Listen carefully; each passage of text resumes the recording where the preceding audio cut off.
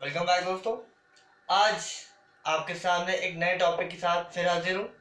कल मैंने आपको कंपनी से रिलेटेड बहुत सारे टॉपिक्स के बारे में एक्सप्लेन किया और आज जो टॉपिक मैं लेके आया हूँ आपके सामने, जिसको और फर्दर एक्सप्लेन करना है, वो है capital subscription for a company यानी कंपनी फॉर बिज़नेस चलता है तो काफ़ी बड़े अमाउंट ऑफ़ कैपिटल पे चलता है। छोटे मोटे अमाउंट पे नहीं चलता। तो कैपिटल सब्सक्रिप्शन एग्जैक्टली कंपनी में होता कैसे है? और क्या प्रोसीजर है उसके लिए? उसके बारे में बात करते हैं।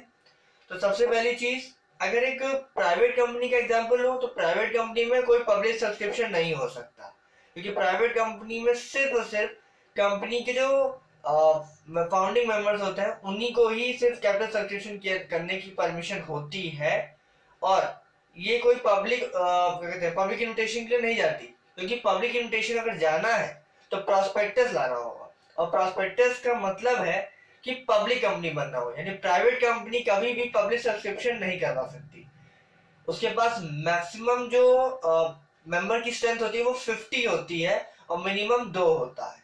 जो मैंने आपको कल के वीडियो में बताया था तो मेन चीज़ है, आइए सबसे पहले देखते हैं कि एग्जैक्टली हमें क्या क्या चाहिए पब्लिक पब्लिक सब्सक्रिप्शन के लिए, यानी कैपिटल फॉर्मेशन के लिए या सब्सक्रिप्शन जिसे कहते हैं। तो उसके बारे में डिस्कशन होगा। सबसे पहला सेबी अप्रूवल बिल्कुल। तो सेबी अप्रूवल में मेन है। सेबी अप्रूवल तो खैर दोनों के लिए कॉमन है। चाहे वो पब्लिक कंपनी हो या प्राइवेट कंपनी हो, क्योंकि दोनों ही केसेस में शेयर होल्डर्स के इंटरेस्ट को प्रोटेक्ट करना सेबी का काम है।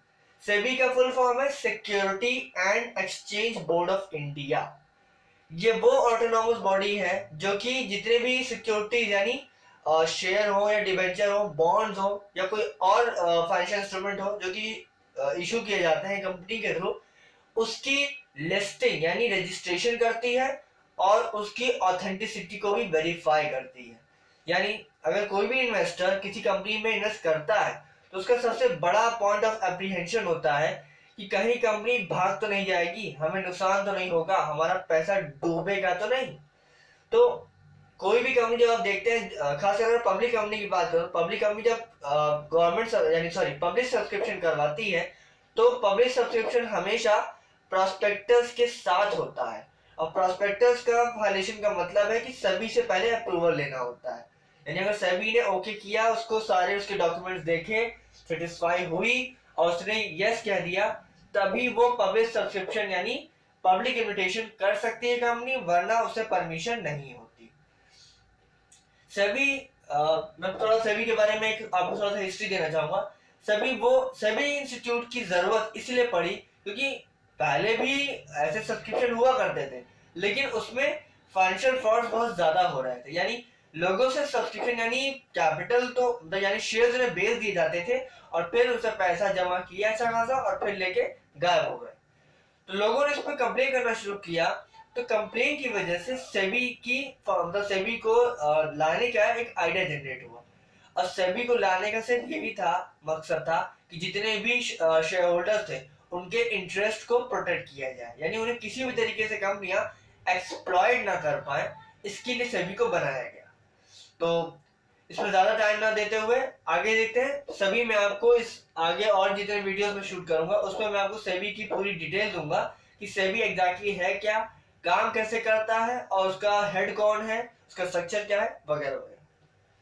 सेकेंड है फाइलिंग ऑफ़ प्रोस्पेक्टस यानी प्रोस्पेक्टस वो डॉक्यूमेंट है, यानी एक बुक फॉर्म में होता है, जिसमें कंपनी की सारी डिटेल्स होती है। उसका मार्केट कैपिटलाइजेशन उसका ऑथराइज कैपिटल मेंबर्स कितने हैं, कितने सालों से कंपनी चल रही है, बाकी एटसेट्रा एटसेट्रा जितनी भी डिटेल है, ये सब प्रोस्पेक्टस में मेंशन होती है।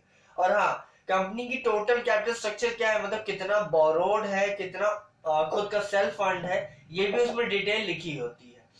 और एक चीज़ और उसमें मेंशन होती है कि कैपिटल की ऑथराइज कैपिटल पर शेयर वैल्यू कितनी है और total number of share company में कितने डिप्लॉयड यानी यूज्ड है।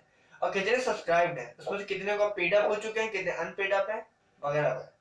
तो प्रोस्पेक्टस कंपनी का एक शॉर्ट ब्रीफ लेके चलता है, उसके प्रीवियस परफॉर्मेंसेस को शो करता है कि कंपनी ने कैसा अब तक बिज़नेस किया है और आगे आपको किस तरीके का रिटर्न ऑफ़र कर सकती है, ठीक? और प्रोस्पेक्टस हमेशा पब्लिक कंपनी इशू करती है प्राइवेट कंपनी को प्रॉस्पेक्टस इशू करने की ज़रूरत नहीं होती, ठीक है? Appointment of bankers brokers and underwriters etcetera of course यानी जब पब्लिक कंपनी पब्लिक इनविटेशन के निकलती है तो उसके पास ये तीन लोग होने बहुत ज़रूरी हैं। जिनके नाम यहाँ मैंने लिखे हुए हैं। पहला बैंकर्स दूसरा ब्रोकर्स तीसरा अंडर राइटर्स इन तीनों के बारे में बात कर लेते हैं।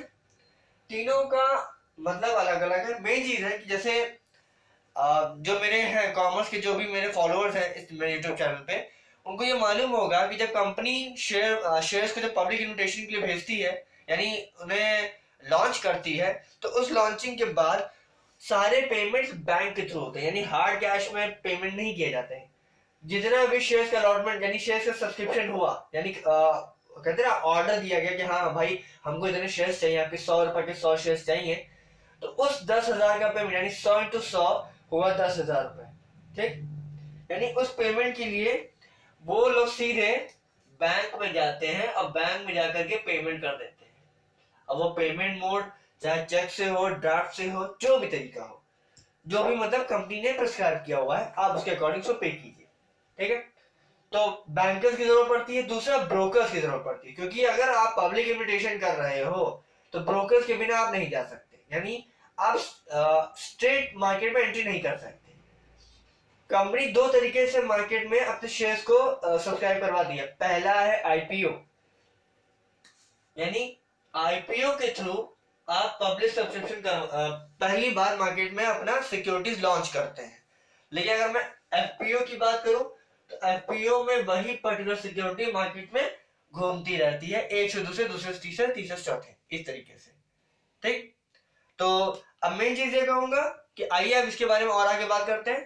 तो बैंकर्स हो गए, यानी बिना बैंकिंग सेक्टर के आपका पब्लिक सब्सक्रिप्शन पॉसिबल नहीं हो पाता, क्योंकि यहाँ पर मेन चीज़ है कि बैंक के थ्रू ही पेमेंट आते हैं और दिए जाते हैं।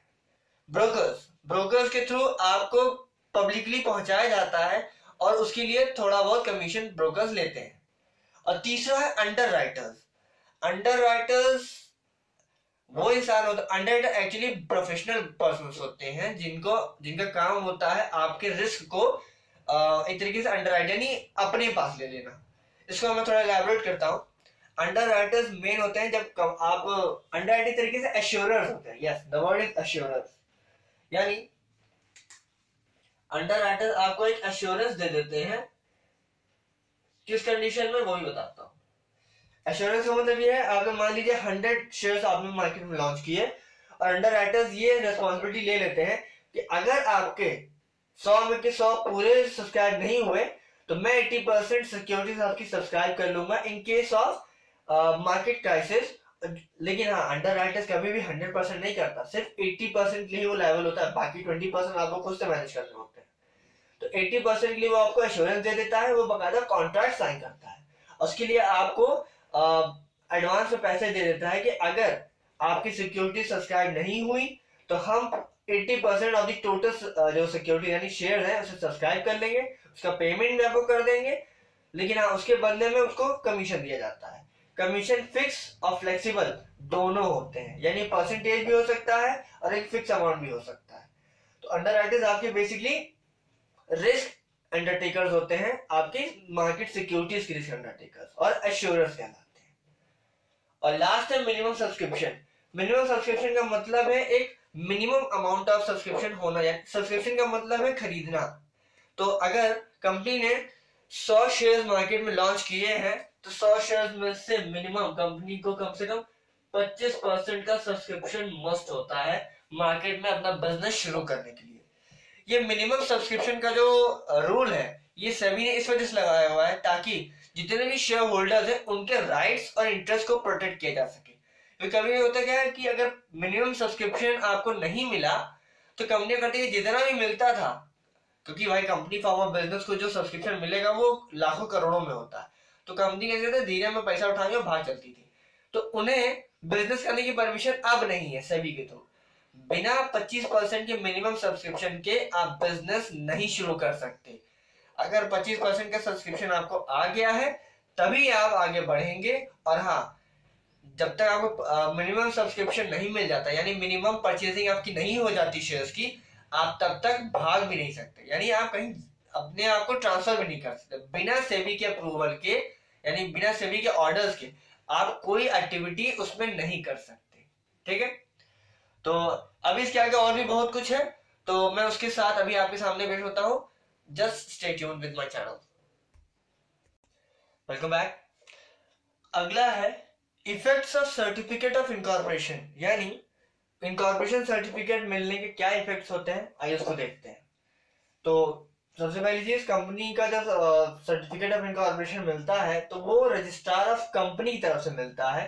लेकिन उस प्रोसीजर में भी सेबी इन्वॉल्व होता है। बिना सेबी के परमिशन के आप प्रॉस्पेक्टस इशू नहीं कर सकते शेयर्स पब्लिक इन्विटेशन के इशू नहीं कर सकते, बहुत भी बहुत चीज़ें तो पहला सेबी अप्रूवल सेबी एक ऑटोनॉमस बॉडी है जिसका गाइड जिसने गाइडलाइंस इशू कर रखे हैं कंपनी फॉर्म ऑफ़ बिज़नेस के लिए।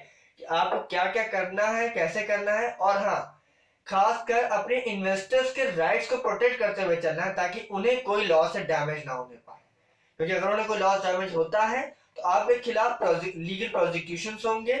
You will be prosecuted for the for for each and every fraud and and if your investor suffers from those frauds then you will be held liable for that. तो सभी approval में main चीज़ है कि सभी मैंने बताया, एक autonomous body है। जो कि मार्केट सिक्योरिटी सॉरी कंपनी की मार्केट सिक्योरिटी जिसमें शेयर्स डिवेंचर्स दोनों काउंट किए जाते हैं, उनके लिस्टिंग यानी रजिस्ट्रेशन से रिलेटेड काम करती है और इसी रजिस्ट्रेशन प्रोसेस में वो उसकी ऑथेंटिसिटी को भी चेक कर लेती है। ठीक? सेकेंड है फाइलिंग ऑफ़ प्रोस्पेक्टस जैसे ही सेबी से अप्रूवल मिलता है, दूसरा काम कंपनी के लिए होता है प्रोस्पेक्टस को फ़ाइल करना। लेकिन अगर प्रोस्पेक्टस फ़ाइल नहीं हो पाता तो प्रोस्पेक्टस का एक सब्सिट्यूट कह सकते हैं कि उसके इन लियो मतलब ऐसे स्टेटमेंट को भी हम फ़ाइल कर सकते हैं जो कि प्रोस्पेक्टस के इक्विवेलेंट होता है। ठीक? यानी हम एक, उसका एक प्रेस्क्राइब फॉर्मेट है, एक लीगल लीगल साइज़ है पेपर का, उसमें आप प्रोस्पेक्टस को फ़ाइल कर दीजिए और फ़ाइल करने के बाद उसमें फिर आप आगे कंटिन्यू कर सकते हैं। अब आप लोग ये सोचेंगे कि ये बार बार मैं जब प्रोस्पेक्टस बोल रहा हूँ या प्रोस्पेक्टस एग्जैक्टली है क्या? तो प्रोस्पेक्टस एक पब्लिक इन्विटेशन के लिए एक बुक फॉर्म में डॉक्यूमेंट होता है कंपनी का, जिसमें कंपनी की सारी डिटेल लिखी होती है, उसका मार्केट कैपिटलाइजेशन लिखा होता है, उसका टोटल कैपिटल स्ट्रक्चर लिखा होता है, और उसके जो सिक्योरिटीज यानी शेयर्स एंड डिवेंचर्स उसके पब्लिक सब्सक्रिप्शन के लिए पब्लिक इन्विटेशन होती है कि आप आइए, हमारी सिक्योरिटीज को खरीदिए, अपनी कैपिटल हमें कंट्रीब्यूट कीजिए, हम आपको उस पर एक अच्छा रिटर्न ऑफ़र करेंगे। और वो वेरी करता है कंपनी टू कंपनी में और बिज़नेस टू बिज़नेस में। ठीक? तीसरा है appointment of bankers brokers and underwriters जिसको भी मैंने अपने इसी वीडियो में लेक्चर में बताया था कि बैंकर्स के मतलब मतलब बैंकर्स की ज़रूरत होती है ब्रोकर्स की ज़रूरत होती है और अंडर राइटर्स की ज़रूरत होती है। बिना इन तीन लोगों के आपका पब्लिक सब्सक्रिप्शन पॉसिबल नहीं हो पाता, क्योंकि ये तीनों के तीनों ही आपको वो, कहते हैं ना पब्लिक के सामने एक्सपोज करते हैं। एक्सपोज एक्सपोजर देते हैं कि आप अपने सिक्योरिटीज को इनसे सब्सक्राइब करवा सकते हैं। और लास्ट लास्ट है मिनिमम सब्सक्रिप्शन ठीक? मिनिमम सब्सक्रिप्शन अभी मैंने बताया था। वैसे एक बार और रिपीट कर दे और और इजी टर्म्स में रिपीट करता हूँ। मिनिमम सब्सक्रिप्शन एक मिनिमम अलॉटमेंट ऑफ़ मनी है। मिनिमम अलॉटमेंट ऑफ़ शेयर्स है। कंपनी के स्टार्टिंग बिज़नेस ऑपरेशंस को चलाने के लिए। यानी अगर मुझे ही बिज़नेस में पैसों की ज़रूरत पड़ी एज अ कंपनी तो वहाँ पे मैं क्या करूँगा कि मैं अपने जो शेयर्स इशू मैंने किए हैं, मैंने उसका सोचा कि 25 परसेंट मुझे मिलना चाहिए ताकि मेरे बिज़नेस का ऑपरेशन शुरू हो जाए, यानी चल पड़े।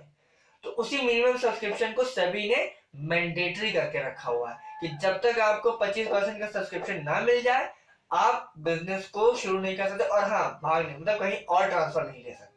जब तक मैं ना, यानी सभी ना कहे तब तक आप ट्रांसफ़र नहीं ले सकते। ठीक है? तो अब अगली हेडिंग है इसी में, जो कि मैंने फॉर्मेशन ऑफ़ कंपनी का जो स्टेप्स मैंने बताए थे प्रोसीजर जो थे, उसमें अब लास्ट है कमेंसमेंट ऑफ़ बिज़नेस का, जिसको मैं इसके बाद समझाने वाला हूँ। तो state tune with my channel I be back in minutes तो आइए कमेंसमेंट ऑफ़ बिज़नेस का जो फैक्टर्स है, उसे देखते हैं। क्योंकि अभी तक हमने ए और बी पढ़ा है, जिसमें सब जिसमें कई अलग अलग प्रोसीजर्स थे। अब बात करता हूँ सी की। सी में है कमेंसमेंट ऑफ़ बिज़नेस तो बिज़नेस यानी बिज़नेस को शुरू करने के लिए क्या क्या लीगल फॉर्मेलिटीज है, उस पर नज़र डालते हैं। सबसे पहला प्रोस्पेक्टस या स्टेटमेंट इन लियो प्रोस्पेक्टस यानी या तो एग्जैक्टली आप प्रोस्पेक्टस फ़ाइल कीजिए फॉर पब्लिक इन्विटेशन यहाँ प्रोस्पेक्टस वर्ड इसलिए यूज़ कर रहा हूँ क्योंकि ये पब्लिक कंपनी का मैटर है। यानी प्राइवेट कंपनी में no need of prospectus a public company needs a prospectus to invite public invitation but private company cannot invite any public invitation so keep that in mind तो prospectus है, आपको prospectus exactly prospectus file करना होगा, या फिर उसी के जैसा सब्सिट्यूट यानी उसका एक ऑप्शन आपको लेके साथ चलना होगा, तभी आपको आगे बिज़नेस कमेंसमेंट का मामला मिलेगा। सेकेंड मिनिमम सब्सक्रिप्शन ये मैं पहले ही आपको एक्सप्लेन कर चुका हूँ इसी वीडियो के प्रीवियस कंटेंट्स में कि मिनिमम सब्सक्रिप्शन का मतलब हुआ यह मैंडेटरी कर दिया गया है सभी की तरफ़ से कि आपको मिनिमम सब्सक्रिप्शन ऑप्टेन करना ही होगा। अगर आपको अपना बिज़नेस चलाना है मतलब स्टार्ट करना है तो जितना आपकी टोटल ऑथराइज कैपिटल है, उसका 25 परसेंट आपको मिनिमम लाना ही पड़ेगा इन्वेस्टर्स से। और तब तक आप बिज़नेस ऑपरेट नहीं कर सकते और ना ही आपको मतलब मेन है कि रिकॉग्निशन दिया जाएगा और ना ही आप पब्लिक इन्विटेशन कर पाएँगे आगे और। Unless until you get the minimum subscription of 25% of the total authorized capital. तीसरा है क्वालिफिकेशन शेयर्स क्वालिफिकेशन शेयर्स का मतलब है कि भाई एक पब्लिक कंपनी में डायरेक्टर को सबसे बड़ा रोल दिया जाता है।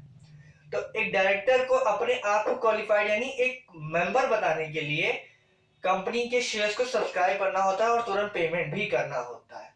वरना कोई भी इन्वेस्टर पब्लिक कंपनी पर विश्वास नहीं करे, क्योंकि मैंने कहा था कि शेयर होल्डर्स के बाद जो सेकंड मेजोरिटी आती है, जो कि मेन हैं सोल होती है कंपनी वो होते हैं डायरेक्टर्स बिना डायरेक्टर्स के कोई कंपनी नहीं चलाई जा सकती.